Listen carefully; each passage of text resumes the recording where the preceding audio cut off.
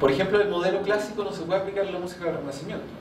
Si ustedes toman una pieza de Dalsa o de, qué sé yo, de Atañán o de, qué sé yo, cualquier pieza renacentista, o de los igualistas, RAE, modal, ahí no hay nada de eso. Digamos. La música es modal, la música no tiene frases. Entonces no sirve. Sencillamente no sirve. La música, digamos, este modelo partió en el 1800 más o menos, o 1790. De ahí para Y por ejemplo, ya para interpretar música barroca que es antes de... Tampoco te sirve. O sea, habría que pensarla otro... O sea, usted habla que este modelo clásico nos aguanta hasta, hasta más o menos hasta... hasta... No, pero se va, maestro decía que se iba, iba degenerando hasta llegar a lo contemporáneo, más o menos. Claro, claro. O sea, que en cierta medida sí era un paradigma para también a, a abordar el repertorio contemporáneo. Claro, por supuesto. O sea, de hecho, o sea, yo les puedo contar, digamos, como anécdota, que una de las, una de las piezas que encuentro fascinantes del repertorio de la guitarra, una de tantas, digamos, pero por ejemplo la sonata de Ginastera. Esa yo la, la abordé y la estudié totalmente solo, digamos, porque fue, la descubrí en una época que yo ya había terminado mis estudios en, en Chile y estaba por irme a Alemania, pero digamos, estaba solo, digamos, estudiando solo. Y, la verdad que empecé a buscar modelos de, para, para, ver cómo hacerlo, digamos, porque se ve muy distinto ¿no? a una obra de Fernando Soro, qué sé yo. Pero hay modelos, hay modelos exactamente iguales. ¿no? O sea, nosotros podemos hacer una, una, un parangón, por ejemplo, entre una, la abertura de Giuliani digamos, la sonata ginastera y podemos llegar a conclusiones bastante satisfactorias. Lo que pasa es que uno se, claro, uno se uno no, no, no, tiene claridad porque la grafía es distinta, porque las estructuras son un poco distintas, o bastante distintas. Pero todo viene de ahí. Es un modelo que se fue, como les digo, degenerando, o desarmando, o descomponiendo, por decirlo. Igual es el, es el punto de partida, ¿no? Es el punto de partida.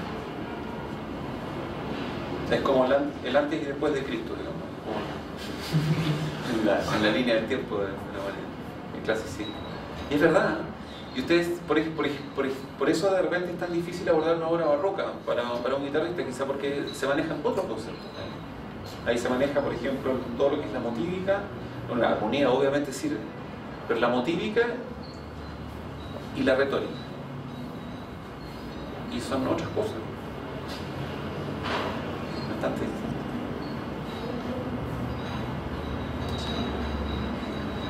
Maestro, tengo una pregunta. Eh, si bien es cierto, hay factores en los cuales uno puede variarlos, puede manejarlos a su gusto dentro del modelo que usted nos está explicando, lógicamente sin salirse de eso, ¿qué es lo que puede hacer que la interpretación suene diferente? O sea, porque hay un modelo y hay factores que uno varía, pero esos factores los pueden aplicar todos, los podemos aplicar todos. Entonces, ¿qué es lo que puede hacer que realmente suene diferente y que cada interpretación tenga su identidad? Muy buena pregunta. claro, obviamente lo que, yo, lo, que yo pretendía no era con este modelo que lo estoy mostrando crear clones, digamos, de que todos hagan lo mismo, digamos, exactamente igual. Pero ahí está la, la, genialidad del ser humano, digamos, de que es capaz, digamos, de, con sus características, digamos, es bastante inexplicable, pero se supone que dos personas que sigan los mismos parámetros podrían llegar a conceptos iguales, pero que son muy distintos, por decirlo así. Porque entran en juego otras cosas, el sonido, por ejemplo. Nosotros no hemos hablado del sonido, uno puede tocar las mismas cosas con un sonido totalmente distinto. Y eso hace que la música suene distinta.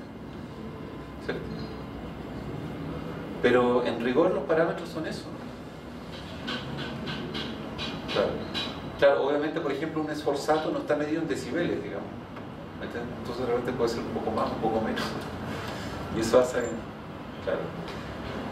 Si ustedes escuchan, por ejemplo, interpretaciones barrocas, eh, hay, hay versiones que son sencillamente geniales, pero son, son como eh, muy exageradas, digamos, con muchos acentos, digamos, con, y son muy buenas, pero son versiones, es lo que dice el estudio.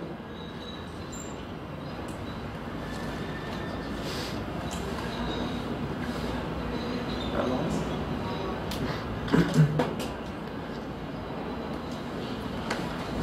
saber algo más? ¿Quieren analizar otra, otra periodo romántico se aplican los mismos, es decir, los buscan. Es lo mismo. Lo que pasa es que ahí entran en juego elementos ya más de, expresión que empezaron a cambiar. Digamos, se se usar el rubato, digamos, muchas cosas, digamos, más exageradas. Claro. Y podríamos ver un ejemplo sobre el juego romántico. Quizás que lo que pasa es que el repertorio romántico de la guitarra prácticamente no existe. digamos. O sea, no, no hay.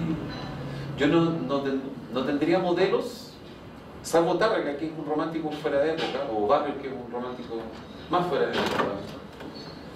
Pero pues, podría aplicarse a la música de Agustín Barrios, que tiene piezas que tienen un carácter muy romántico, a pesar de ser nacionalista. Claro.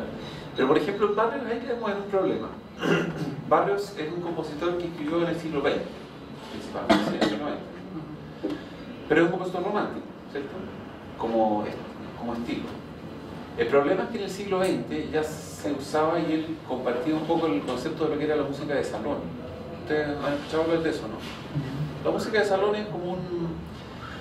es el romanticismo eh, aplicado, digamos, un poco a las castas sociales, digamos, eh, pudientes, digamos, que tenían mucho dinero, entonces se hacían conciertos en, en gran- ya no en palacios como antes, pero sí en, en grandes mansiones. Y, el gusto de la música lo empezó a. o sea, la gente que hacía música era gente que tenía un gusto determinado, un gusto estético determinado. Entonces Barrios, digamos, cae un poco, en esto, digamos, que es lo que se llama la música de salón. Entonces, si ustedes escuchan las mismas grabaciones de Barrios, su música es terriblemente afectada, así como eh, ciútica casi, por decirlo así, exagerada en todos sus parámetros, eh, lleno de glisandos y, y con eh, acelerando exagerados y retardando exagerados, ¿cierto? Y eso no es el modelo de la música romántica, ¿verdad? es el modelo de la música de salón. O sea, si ustedes ven en el, en el eh, a principios del siglo los intérpretes como Arthur Rubinstein o Pablo Casals, eh, Heifetz, ellos un poco caen un poco en ese estilo, en el estilo un poco exagerado, ciútico, exacerbado de la música.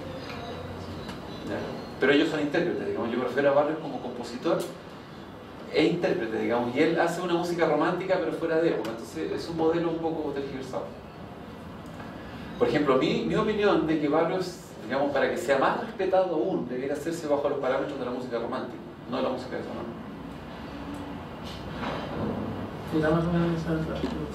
A ver, ¿quién? No sé qué piensa. A ver, por ejemplo, un modelo di- difícil en el barrio, por ejemplo, en el. Este de la. El trémolo que Este. Es un modelo exacto de una canción, ¿cierto?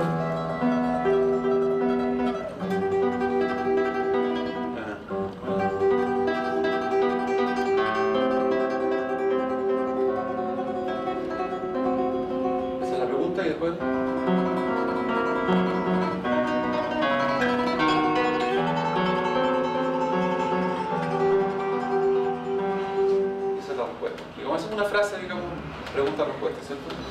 Pero resulta que barrios, eh, o la gente que toca barrios, suele hacer cosas extrañas, por ejemplo.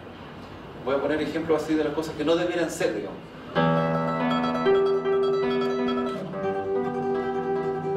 Por ejemplo, parten de una nota fuerte,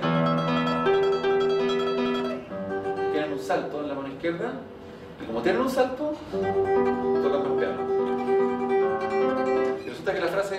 hace mi, sol, sol, fa, o sea, un compás es mi, el otro sol, y después sol, que es la abollatura del fa. ¿Cierto? Entonces la frase va así, mi, sol, sol, fa. Eso es difícil, ¿ah? hacerlo con trémolo.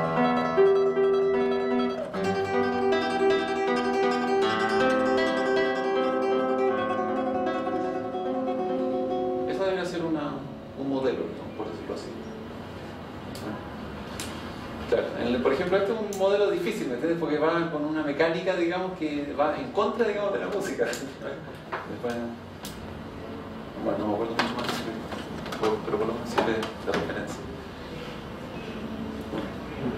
Pero toda la música clásica romántica en general se mueve en parámetros de frases.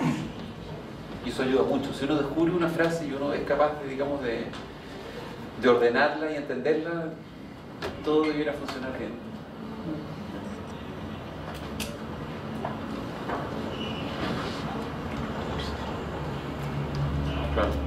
Yo creo que para el estudio de la guitarra en general, eh, este es un, modelo que, yo les estoy mostrando que sirve para entender lo que es la interpretación. Hay otros modelos que yo utilizo, por ejemplo, para, para mecánica. Por ejemplo, obviamente los estudios de, Leo Brauer sirven mucho para, para, ciertas mecánicas específicas y tienen la utilidad de que nos, eh, son muy cercanos a nosotros a la armonía que se usa en la música popular y ese tipo de cosas. Entonces, bueno, folclore. Entonces es muy, muy cercano a nosotros, digamos, más que la música clásica, que hace, hace 200 años. Eh, la música renacentista es muy útil para trabajar, por ejemplo, mecánica de mano derecha, para hacer escalas, Es fantástico para lograr legato, ¿cierto? Esos son diferentes modelos, digamos, que sirven para como estudio. Un minuto de sol no sirve, digamos, para hacer escalas, o sea, son modelos distintos, Esas son cosas que sirven para diferentes cosas.